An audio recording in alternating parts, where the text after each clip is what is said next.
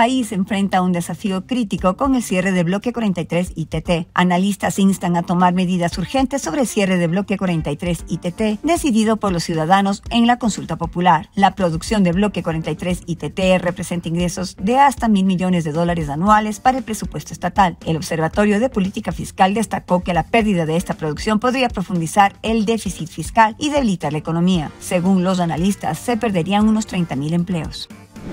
Sol Gold asegura 750 millones de dólares para el proyecto Cascabel. Sol Gold ha asegurado un financiamiento de 750 millones de dólares para su proyecto de cobre y oro Cascabel, ubicado en la provincia de Imbabura, Ecuador. Se trata de un desembolso inicial de 100 millones de dólares para la mitigación de riesgos y obtención de permisos, mientras los 650 millones de dólares restantes se destinarán a la construcción del proyecto cuyo costo total es de 1.550 millones de dólares.